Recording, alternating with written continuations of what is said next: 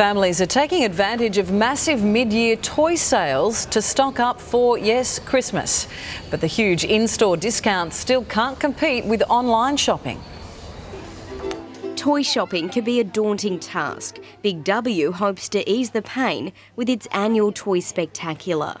We expect to sell 3 million toys over the next two weeks. Patients from the Sydney Children's Hospital, like Charlotte, got free run at the sale today. And that one too. How many presents do you want?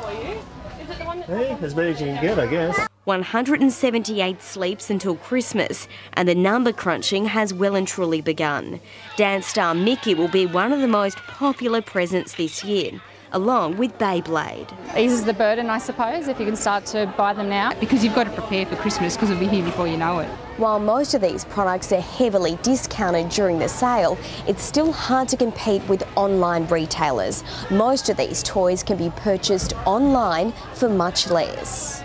If you buy the boys' favourite Beyblade online from the US, you will save $9. For girls, Paper Jamz Justin Bieber Keytar sells for $30 less, and Dance Star Mickey is $33 cheaper.